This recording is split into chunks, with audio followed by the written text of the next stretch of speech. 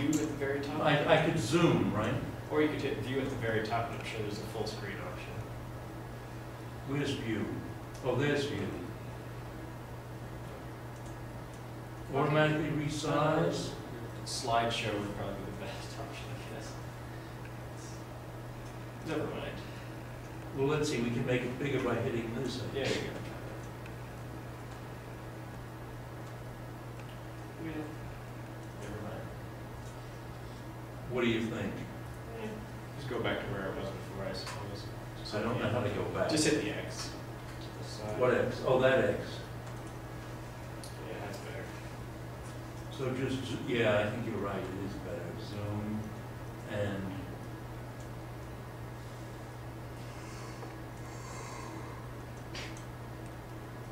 Here, maybe I can get rid of this sidebar. There.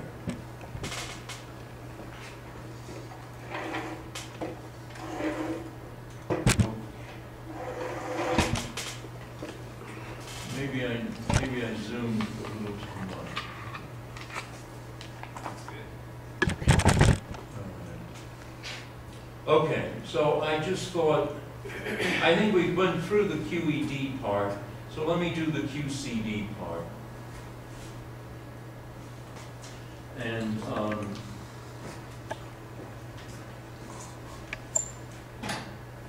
all right, so let's see. Um, Somehow, it seems to me that other people get sharper images. All right. Well, anyway, let, let's, let's get back to the physics, sorry. So, um, here we've got, um, quantum chromodynamics, and the cubic interaction of the gauge field, the gauge field, um, the F mu nu is the ordinary term plus essentially a commutator of F mu with F nu. And the cubic term there gives rise to um, uh, a running coupling constant that decreases with ri- rising energy. And if you compute, um, let me write on the, I couldn't figure out how to do Feynman diagrams. So if you, if we're looking at this, you've got, um, sorry, this is a gauge boson loop. So that's, that's the big term. And then there's another term, which is the ghost loop. And the sum of these two gives you um, the expression up there. If you want, we can go through that computation at some point. But I thought I'd just um, tell you what the result is here. It's, um, the, the computation of these things actually gets a little complicated. Um, anyway, so then uh, d, d, d, d, times mu, which is the beta function, is negative because of this minus sign there. And uh, so you integrate from one energy scale to another, and uh, then you invert, and what you find is um, you find that uh, GE squared is GM squared divided by 1 plus 11 GM squared over 8 pi squared log of E over M. This is with no fermions. And, and the, the, the, the lingo is, when you have the theory without any fermions, you call it a pure gauge theory. Um, and this, the fact that the coupling constant goes down logarithmically as the energy increases, going to zero actually at infinite energy is an effect called asymptotic freedom. Um, okay, now if the gauge group, so I was doing this for SU3, and one of the characteristics of SU3 is that it gives you an 11 there. And um, people in the trade think of it as uh, significant that you get a prime number there. Okay, or a, non-trivial prime number, let's say not two or three, but actually 11. Um, if you're dealing with SUN and you have NF flavors of quarks,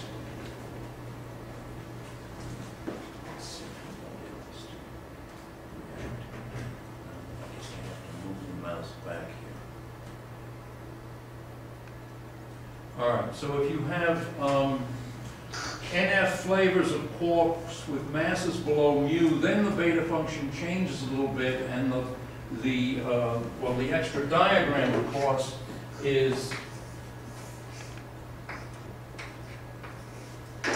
quark-anti-quark pair, and um, that then subtracts something from the, uh, from the negative. It makes the beta function more positive, but it still remains negative as long as the number of quark, light quark flavors is less than 11n over 2, and n is typically 3, so we're talking 33 over 2, as long as it's less than 17. Um, if you use the beta function, this beta function with n equals 3, and you integrate, instead of the top thing, you instead find this. And um, so then I actually plotted that. Um, in fact, well, let, let's do a little- few more manipulations. If you, if you first set, um, define lambda squared as this mass squared e to the minus 16 pi squared over 11 minus 2nf over 3 gm squared, then, uh, and in fact, why don't we assign that as a homework problem? It's not a hard homework problem. You then find that this previous formula, that, uh, that one in other words, now becomes now becomes this formula down here. So now alpha S at energy squared E, and alpha is the coupling constant squared divided by 4 pi, just as the fine structure constant is E squared over 4 pi. Um, that's then G squared over 4 pi. It turns out to be 12 pi over 33 minus 2nf log of E squared over lambda squared. And that's what I've plotted here. Notice what's happened. You've got now, on the right-hand side, you have the coupling at energy E is defined in terms of the energy E and a, an energy scale lambda given by this expression. And um, people um, make sort of a big deal about this. They call it dimensional transmutation in the sense that you replace the dimensionless coupling constant with a dimension-full coupling constant. But of course, you have to have that because if you're going to have a running coupling constant at energy E, and the whole thing is dimensionless, then it has to depend upon a ratio of E to some other energy scale, lambda. And um, so that's, that's the way, it- the way it is. And uh, that's been called dimensional transmutation. That is to say, you go from a dimensionless to a dimension-full coupling. In other words, the coupling, alpha at E, is given by this expression, uh, again, to one loop order, um, and it's defined entirely in terms of this coupling, of this energy scale lambda. It turns out that energy scale is approximately 250 MeV. Uh, and the coupling, the strong coupling constant, or the strong structure constant, uh, alpha S of E then, as given by this expression, looks like this, as you take energies from somewhat larger than the, the, the, the bottom quark uh, up to somewhat less than the top quark energy. So this energy range, frankly, it's in the middle basically where it's most valid. And um, for lambda, in, in that energy range, the number of light quarks is five, up, down, charm, strange, and bottom.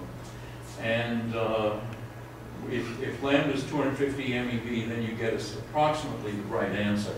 Now, there are higher order loop corrections, of course, and they have been actually worked out. By the way, the bottom quark is 4.19 GeV, and the top quark around 172. Um, so I, uh, I tried to put in Weinberg's um, uh, corrections, uh, but um, I, I don't know, I must have fumbled some left parenthesis or something because the, curve just didn't look as good as this one. All right, are there any questions? I think, um, I've got to give everybody a candy because of just for getting the, uh,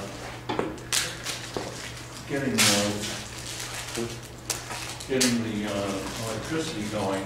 Let me, um, let me now, I think we've done the lattice field theory thing, uh, enough. Let me review the, um, renormalization group in condensed matter.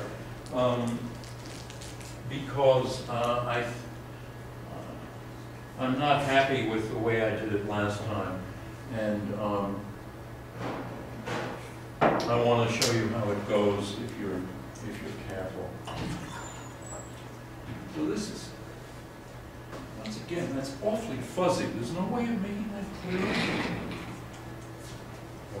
Maybe you can choose another resolution. I don't know. Yeah. All right, well, let's. Are you happy with this resolution, or should I try something else? Looks good to me, I don't know. Yeah. Anybody else? Yeah. All right, well, because you're, you're at a greater distance. Yeah. All right, so let's, um, let, let me just go through the condensed matter spiel carefully. I, I think this is, um, a better way of doing it than what I did last time. Basically, you're, con- you're concerned in condensed matter with the properties that emerge in the bulk. Um, that is to say, when you're at a distance scale, which is much bigger than the distance between the molecules in the crystal or the liquid or the gas, whatever the bulk is. So we're looking at things like melting point, boiling point, conductivity. We want to see what happens to the physics as we increase the distance scale many orders of magnitude beyond the size of an individual molecule, the distance between nearest neighbors.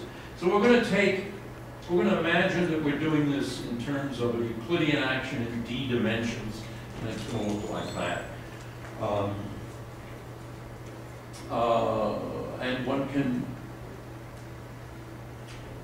think of uh, this sum as a sum, and the first one might be a mass term, the next one a normal quartic interaction, and then a whole host of, of terms there.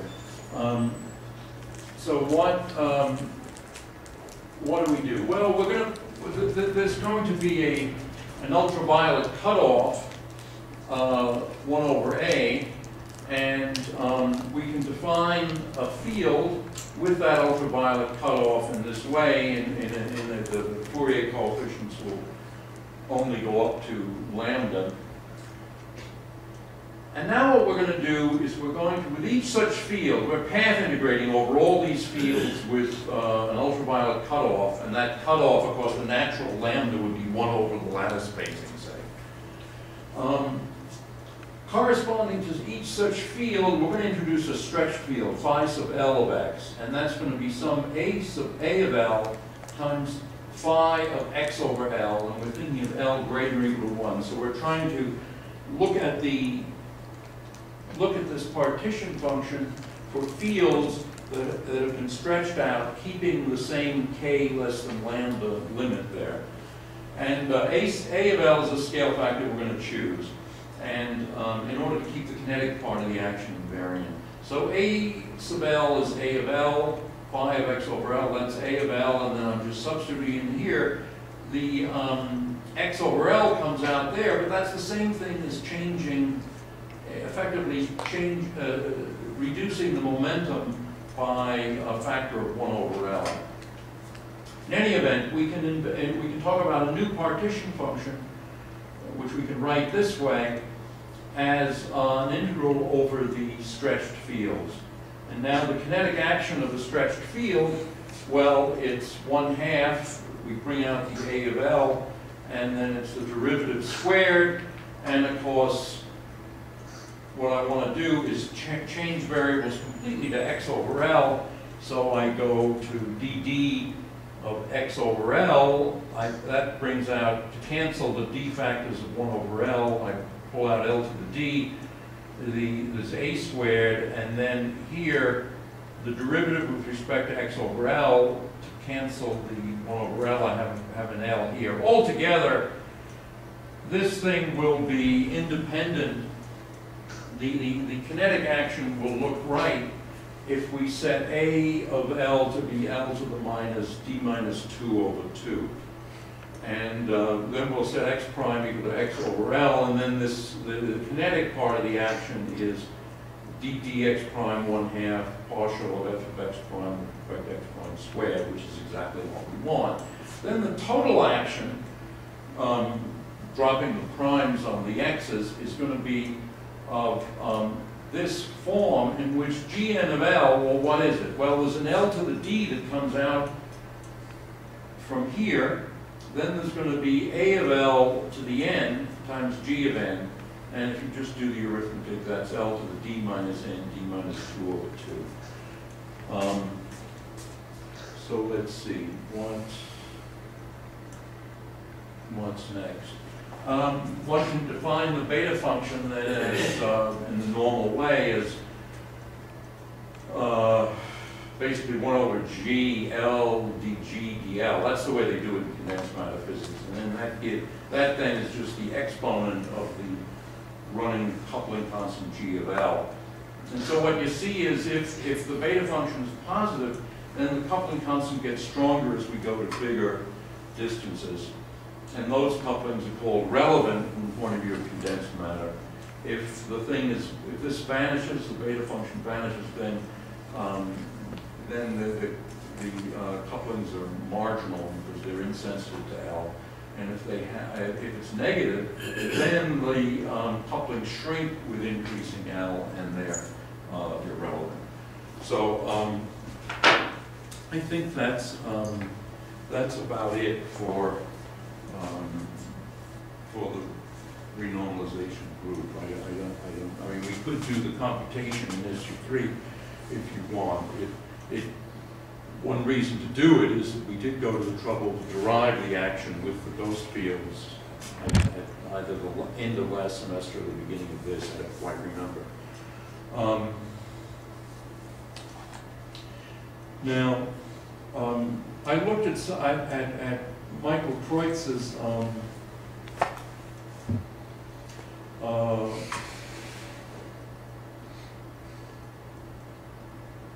C code for Z2.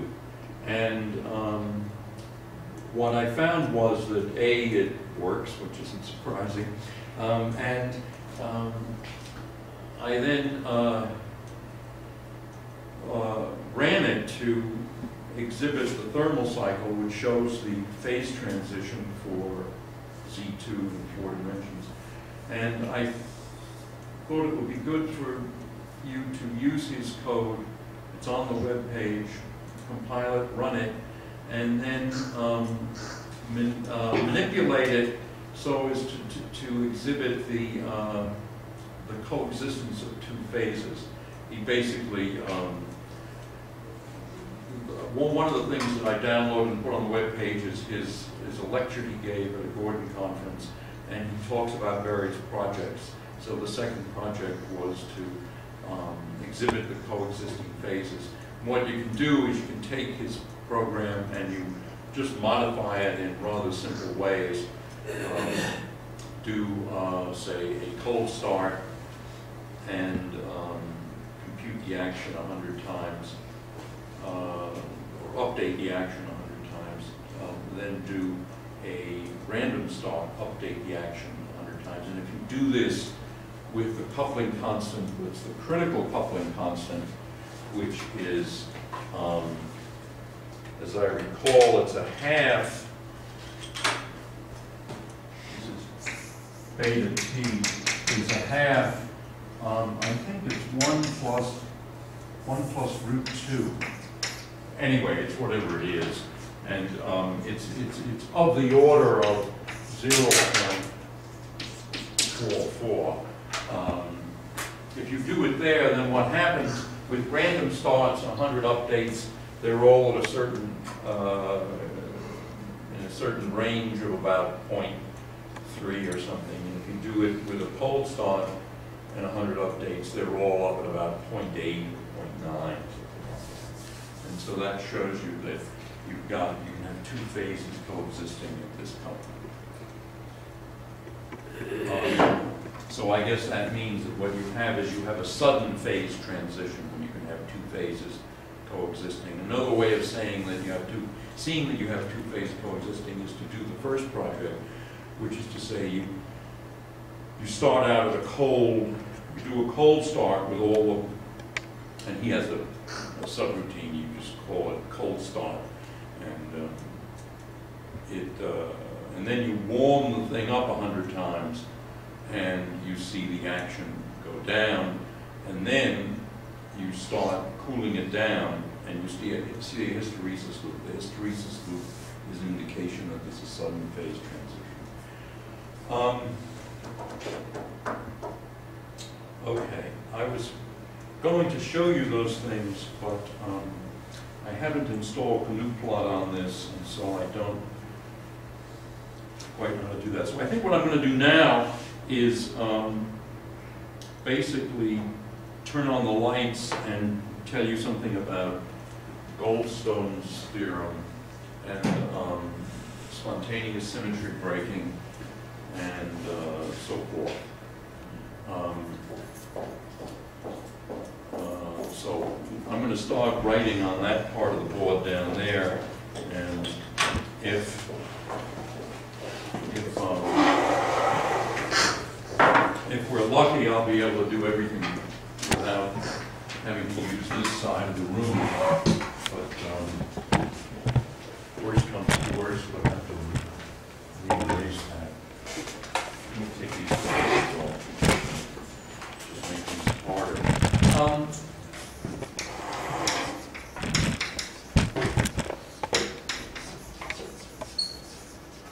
I once rented Goldstone's house, by the way, one summer. Um, It's a nice house. Um, Okay, so let's suppose that Q is a conserved charge. And by that we mean that it commutes with the Hamiltonian. And it arises where, the, the picture is that it arises from some current that's conserved. And so we have zero is d mu, j mu of x and t. And um, that implies then that q dot is zero. We, we went through this in the early part of the last semester. Now, we say that um, if q annihilates the vacuum, then uh, there's a symmetry. There exists a symmetry. And in fact, um, it's naturally a continuous symmetry. And normally one thinks of this thing as a bosonic operator. And um, this, what we're going to say is that if the symmetry is broken, in fact, the technical term is spontaneously broken, the, um, then there's going to be a massless, massless particle in the theory. The ma- massless particle is called a Goldstone boson or sometimes a Nambu-Goldstone boson. And, all right, so um, first of all, why is there a symmetry under, why is it, why, oh, I'm sorry, th- this equals zero. This is supposed to be an equation. If Q annihilates the, the vacuum, if Q vacuum is zero, then we have a symmetry. All right. Now, wh- why, why would that be? Well, let's just think of a bunch of fields.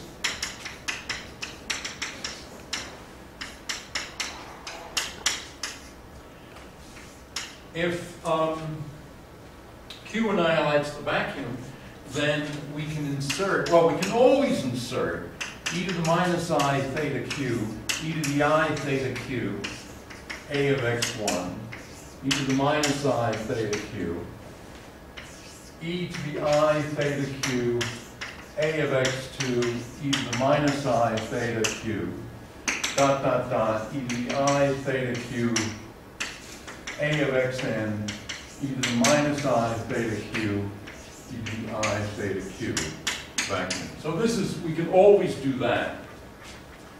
But that's not really a symmetry, that's just inserting one and plus one times.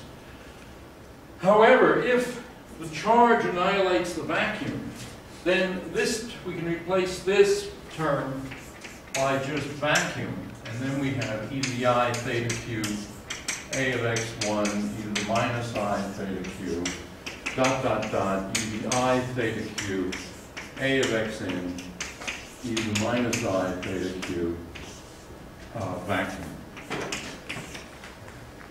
So in other words, if Q annihilates the vacuum, then we can, this term has no effect on the vacuum, we just go to that, and similarly, this term on the vacuum has no effect. And now we can say then that this is zero, A theta of x1, A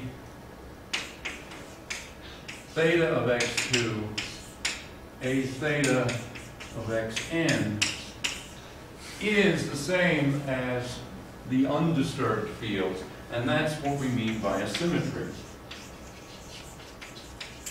So if Q annihilates the vacuum, there's a symmetry.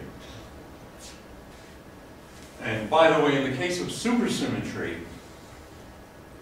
um, the Hamiltonian, and I'm going to be a little bit sloppy here, the Hamiltonian is basically Q dagger Q. In fact, it's sort of an anti-commutator of Q dagger Q.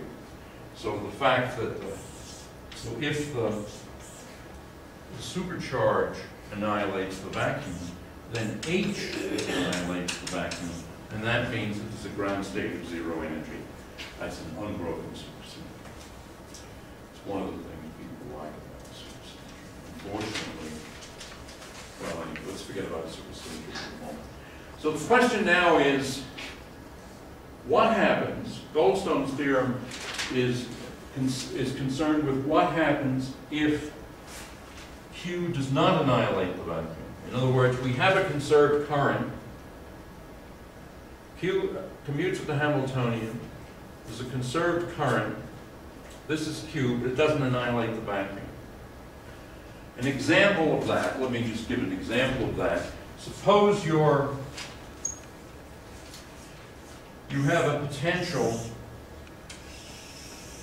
suppose you have a theory where phi is phi 1, phi 2, and the potential is such that the minimum of the potential, instead of being at phi equal to 0, is a circle in phi 1, phi 2 space. So this is phi 1, phi 2. Then, um, what does this charge do? Well, this charge will basically move you around the circle. And, and so the vacuum state is over here. It's essentially roughly coherent state at that position. And then the charge just rotates you around here. It doesn't annihilate the state. And um, so that's called that's called spontaneous symmetry breaking.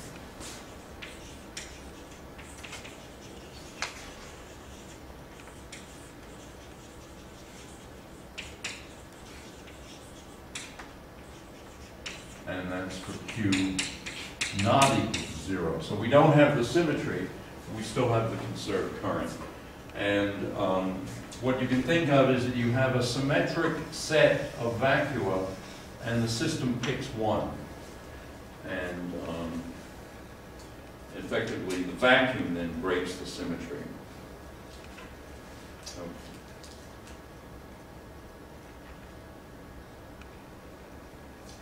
All right, well, Theorem is remarkably simple. Uh, First of all, we add a constant to the Hamiltonian so that um, H annihilates the vacuum. We then consider this state, since Q on the vacuum isn't zero, HQ is something, and what is it? Well, we can write it as H commutator Q, because H annihilates the vacuum. Okay, so this, in other words, is HQ minus QH. That's writing it this way, H on zero is zero, and so this commutator just gives us HQ on the vacuum. But this has to be zero. So in other words, the state Q zero is a state of zero energy.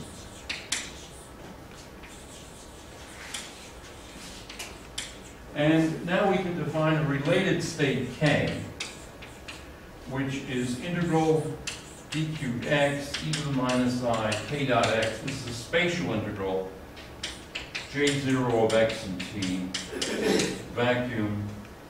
And um,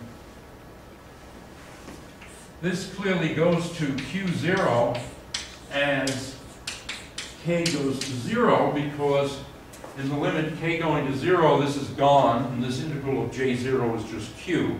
So this is just q on the vacuum. Um, on the other hand, the momentum operator, pi, on k, well, we can write that as d cubed x e to the minus i k dot x. Now, pi on the vacuum is zero because the momentum is a conserved operator that generates a symmetry and so annihilates the vacuum. Equivalently, the vacuum is translationally invariant. And so we can rewrite this as pi j0 of x, the commutator, on the vacuum.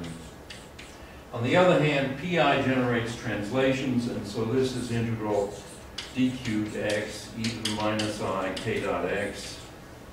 Um, and then this is minus i di j0 of x vacuum. Now we integrate by parts, and as usual in this whole game of symmetry, we drop surface terms. And um, so this then gives us um, i integral d cubed x, j0 of x and t, di e to the minus i k dot x, vacuum, and then that is just k sub i, the state k. This, this, the i's cancel, you just get a k, and then what's left is just the definition of the state k. So what we have then is a set of states of momentum k that have zero energy in the limit k going to zero. That's what we mean by a zero mass state. The zero mass state is a uh, state belongs to a family of momentum eigenstates, and when the momentum goes to zero, the energy goes to zero. So there's a zero mass state, and since we've assumed Q is a boson, it's a boson. I suppose we could go through this whole business with a fermionic charge, and um, uh, I suppose we'd use a Grassmann theta or something. And um, I don't see anything that would prevent us to have a Goldstone fermion uh, for the case in which a fermionic charge is spontaneous, a, fermi a fermionic symmetry is spontaneously broken. Okay, now an example of this, the famous example of this is, um,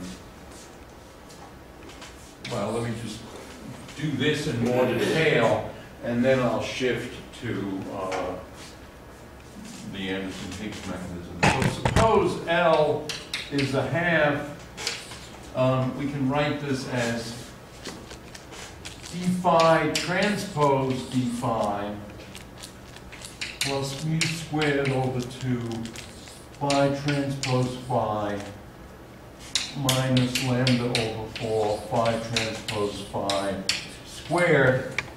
Here, I'm, I'm saying phi is phi 1, phi 2. If we switch to a complex, oh, look, first before I do that, mu squared normally, Lagrangian after all is the kinetic term minus the potential. So if mu squared comes in with a plus sign, it has the wrong sign. so the potential looks essentially like this. The minimum goes around here, and then it goes back up like this. And uh, so it's, people describe it as a Mexican hat potential, looking like that, so the minimum is down there. Now, it's easier if we we, we say here this thing has an O2 symmetry. If we instead define a complex field, phi equal to phi 1 plus i, phi 2 over root 2, if I'm not mistaken, let me make sure, yeah. 1 over root 2, and then we can rewrite this as rho of x e to the i theta of x. Then the, I'm looking for space, the Lagrange density then is uh, now d phi star or d phi dagger, how we want to write it, plus mu squared phi dagger phi minus lambda phi dagger phi squared, say, effectively. And um, now, what is d mu phi? Well, d mu phi is d mu rho e to the i theta, and so this is d mu rho plus i rho d mu theta. E to the i theta, and so the Lagrangian here is uh, rho squared d theta squared plus d rho squared plus mu squared rho squared minus lambda rho to the fourth. So the theta field is massless, but, um, and the rho field looks as though it has an imaginary mass, but if instead we define v to be the radius of this minimum, and that turns out to be mu over the square root of two lambda, and then we we write rho equals v plus i, then what happens is this Lagrangian can be written as v squared d theta squared, so it's still massless. But now this, the chi field, which is the vibrational, in other words, rho is a mean value plus a vibration, and this will be d chi squared minus two mu squared chi squared, and then minus 4 root u squared lambda over 2 chi cubed minus lambda chi fourth uh, plus root 2 mu squared over lambda chi plus chi squared d theta squared. And then there's another term, minus lambda theta 4, which is just a constant. So what we've got here is a massless field and a massive field. Now the mu has the right sign once we've shifted rho. And uh, so chi has mass mu.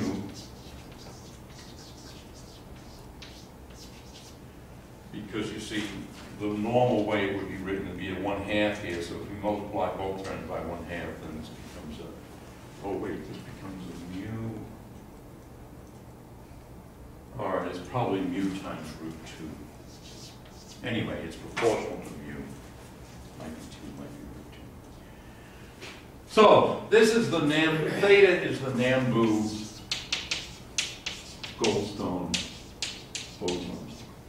That, that's the field that repre- represents it. Now, turns out that this happens as long as the number of space-time dimensions is bigger than two. When it's just two, well, we can look at it, the propagator, and let's now go back to the rectangular notation where we have phi 1 this way, phi 2 that way. Phi 1 is caught in this potential, so it, it's caught in the potential there, so it doesn't move, but there's no restraining force in the phi 2 direction. So the question is, do you have crazy vibrations in that direction or not? And so what we do is we look for the propagator phi 2 of x, phi 2 of 0, and because that's going to be essentially an integral d dx over 2 pi to the d e to the i kx over, it's massless, so it's k squared. And now, we're gonna cope with the ultraviolet divergence with, a- with renormalization from some sort of cutoff. But on the other hand, there's an infrared divergence.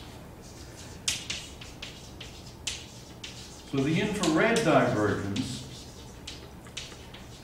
um, when is that? And, um, well, if D is three or greater, then this, oh.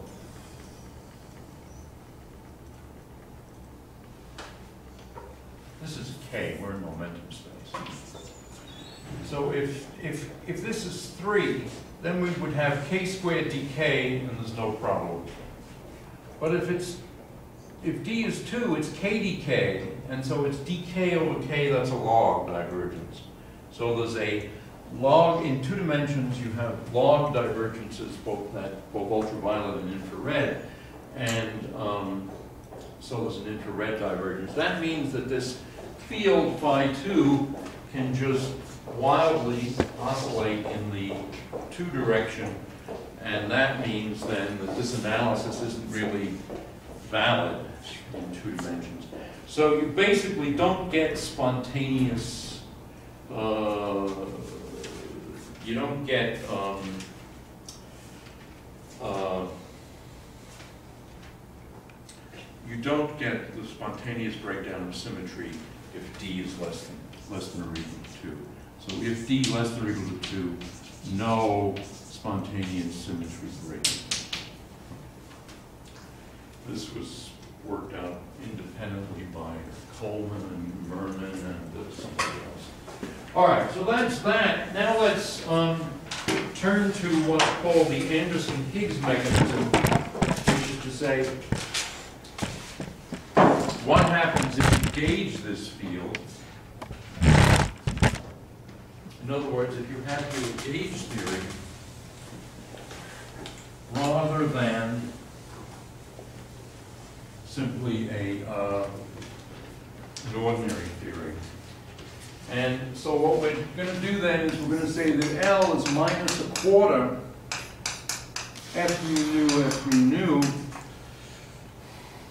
plus d phi dagger d phi plus mu squared phi dagger phi minus lambda phi dagger phi squared. So that's uh, our picture. And we're going to say d mu phi is d mu minus i e a mu phi. All right, so we've got a covariant derivative there. And we can set phi equal to rho e to the i, rho e to the i theta is what that's supposed to be.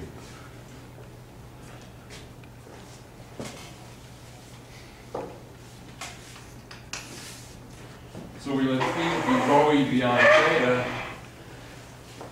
Then this thing is d mu rho plus i rho d mu theta minus p a mu e to the i theta.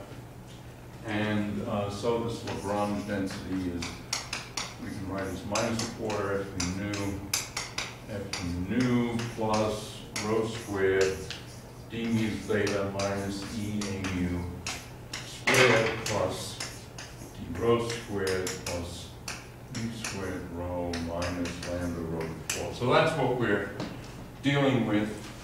And now this b mu, let's define b mu as a mu minus 1 over e d mu theta.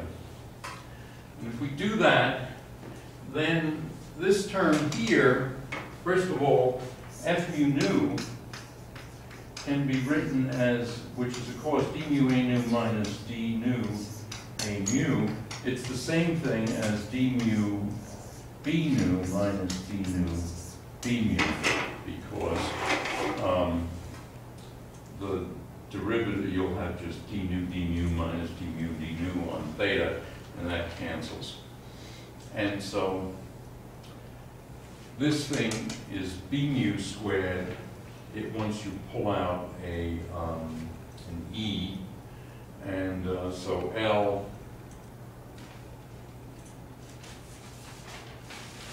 So this Lagrangian then is minus a quarter F mu nu F mu nu plus a half, and now it'll be m squared b mu squared, where m is equal to, um, so let's see, one half, this will pull out an e, so it's rho squared e squared, and to make it one half, I guess I could make that be a two. And then, um, right, okay. And so what we've got then is a massive, a massive bos, vector boson, B mu. This is Lagrange density for a massive vector boson. Um, interacting with, the rest of this is e squared v chi b mu squared, but that's interacting with the scalar field chi. Um, oh, and of course, what we've said was here that rho is one over root two v plus chi, where v is mu over square root of lambda. Then this thing is interacting with chi. Chi is then the vibrational part of rho. Rho is assuming a value equal to v over root 2, I guess. And um, the other terms are plus a half e squared chi squared b mu squared, this is again an interaction term, plus a half d mu chi squared minus mu squared chi squared. Well, this means the chi has mass mu, and then there are other interaction terms, square root of lambda, mu, chi cubed minus lambda over 4, chi to the fourth plus mu to the fourth over 4 lambda. I actually think that might be a minus, but um, anyway, let's just, yeah, it's certainly a minus. Um, So what's happened is that the, the massive, the massless field A mu has become a massive field B mu. And um, this mechanism was found in condensed matter physics by Anderson, and it was found in, um, in quantum field theory by Higgs, and uh, quantum field theory, you call it the Higgs mechanism. And this is thought to be how um, the gauge boson, why the W and the Z are massive. Um, and uh, so if one works this, this out for um, the electroweak theory, um, this is the mechanism that takes place, and W and Z become massive, and the, um, the, uh, the photon remains massless. What's actually happening is that the, there are actually, you have a gauge field with SU2, SU2 cross U1, that's the symmetry that's spontaneously broken. And um, so you have four gauge bosons here. Two of them, W plus or minus, get a mass directly in this way. Then there are two others. The third, what you think of as W3, and then what's normally called B that generates the U1. You can then take two orthogonal linear combinations of those fields. One gets a mass and becomes the Z, the other one stays massive and becomes a photon. In grandly unified theories, you extend this group. Well, of course, you add SU3, but then you add other stuff. And uh, altogether, this is part of a group called SU5, and then you have spontaneous symmetry breakdown for SU5, and um, the breakdown is such that, uh, the breakdown is at a very high scale, around 10 to the 15th GeV, so that the, the gauge bosons that generate SU5, but not SU2 cross SU3 cross U1, they get masses of the order of 10 to the 15th GeV. And um, then there's a second breakdown of the electroweak scale that gives masses to the W and Z. And all of it works basically on the same Anderson-Higgs mechanism. Um, Okay. Now, um, let's see if, um, we can see how this will work in a slightly more general case. Suppose, instead of having two real fields, which is what we had here, suppose we have three. So now this is phi one, phi two, phi three. And, um, once again, the, the potential would be some lambda phi transpose phi squared minus some mu squared phi transpose phi. If that's the potential, then um, what you have is that uh, phi, the, the length of phi has to be essentially, um, what is it? Uh, lambda length of phi squared is equal to mu squared, so it's essentially mu over the square root of lambda. So this, that, that it has to take that size. But then there are, um, so what do we have? What we have then is this sphere and the radial vibrations of the, of this field, those are constrained to be small because of the potential.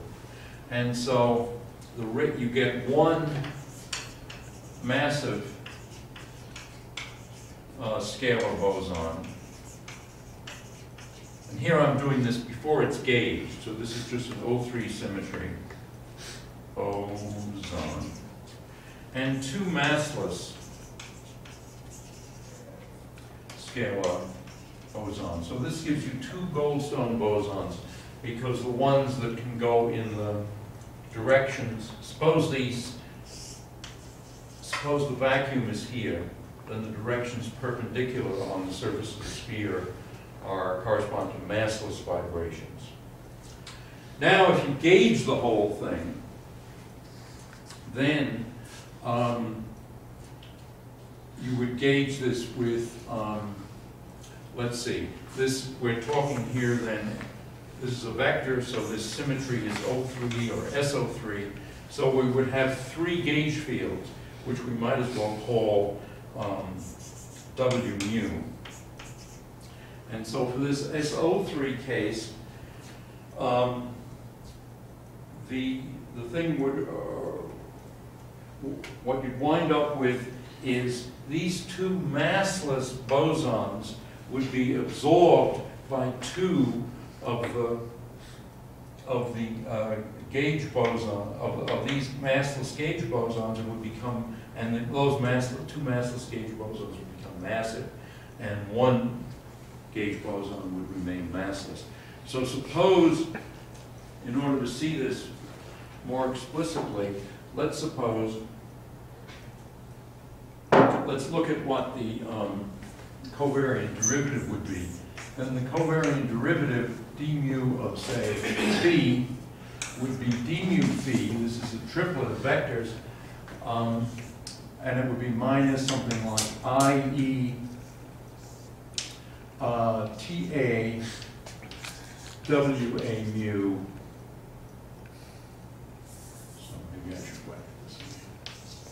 Like that. Okay? And the TAs um, would be actually uh, T sub A um, would effectively be um, these, the- these are, it's effectively epsilon ABC, and so let me, let me, let me see how it would go. T3 would T3 AB would be essentially um, epsilon 3AB. I'm leaving out the, the, there's an overall minus sign or an I, depending on how you do this. And in fact, um, TA, let's put it more generally, TAIJ will be proportional to epsilon AIJ. These are the, the generators of of of SO3 in the adjoint representation. And so now, if you assume that the vacuum is such that, um, phi three is some V plus some, the scale vibration in the, in the Z direction, and then phi one and phi two, um, uh, are, are essentially zero in the, in the vacuum, then we can look at what, what this looks like. Well, this d mu, we would have d mu phi transpose d mu phi, and the, the,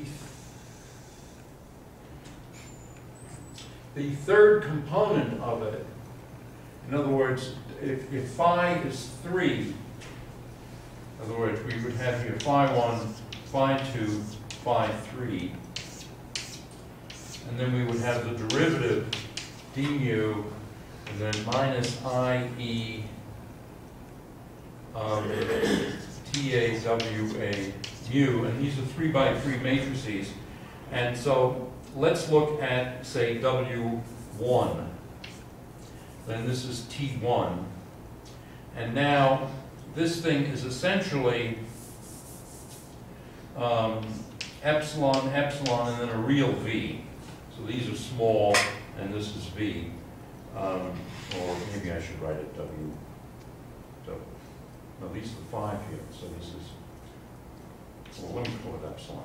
And so then, um,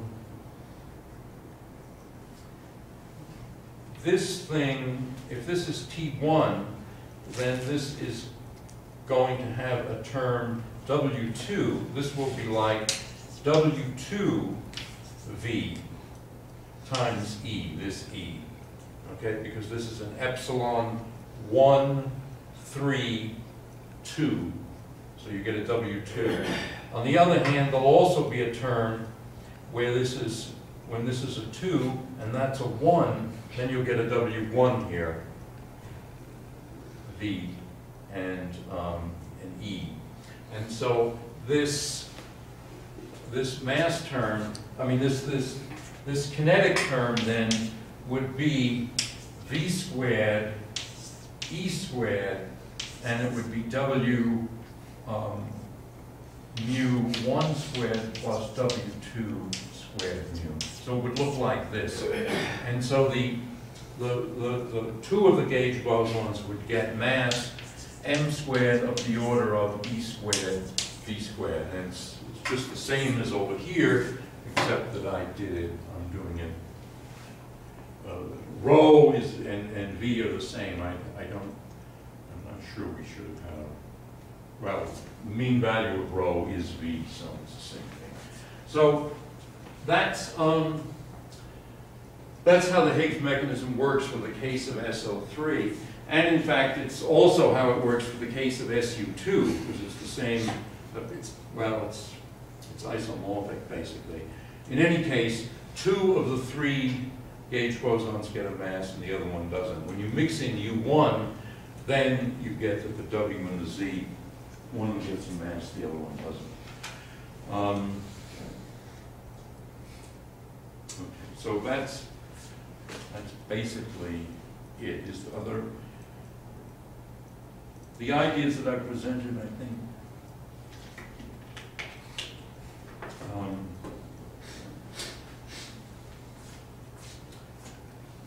I want you to understand them, so please ask a question. If there's something that you don't understand, it's, I, I assure you, it's not deep.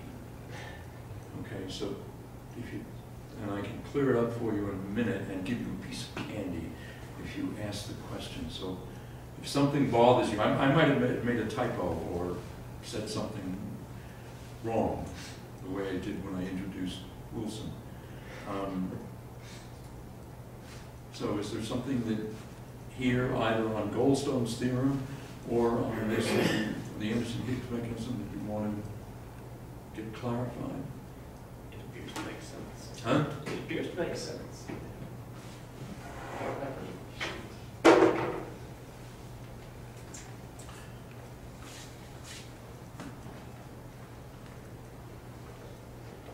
The one, all right, let me tell you um, something that, that, that, that that I find, a question that I have. In other words, if I were sitting in the class and somebody else were lecturing, I'd raise my hand and say, um, we were talking here about a continuous symmetry, and I guess in a sense that um, in the context where we have a conserved current and the charge commutes with the Hamiltonian, then you can get a continuous symmetry the way I did, namely you just exponentiate theta q with an i, and that gives you a u1.